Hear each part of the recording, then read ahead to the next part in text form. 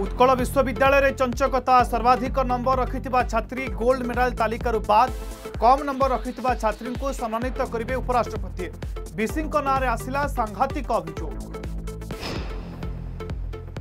कटक्रे लोकार्पित है गांधीजी ब्रोज प्रतिमूर्ति राज्यवासी उद्देश्य समर्पित कले मुख्यमंत्री सेपटे ईदगाह पड़िया एवं अवहेलित और जबरदखलकारी कब्जा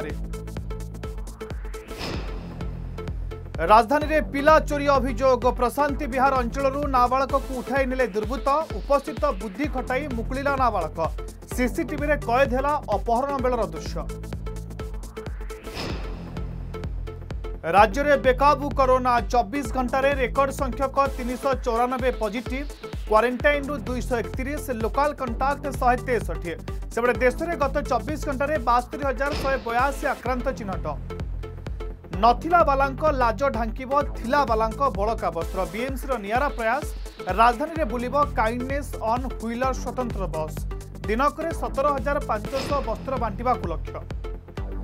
ଖରାଦିନେ ବନ୍ୟାର ଭ୍ରମ ସ୍ମାର୍ଟ ସିଟିରେ ଭୁଷୁଡ଼ି ପଡ଼ିଛି ଡ୍ରେନେଜ୍ ବ୍ୟବସ୍ଥା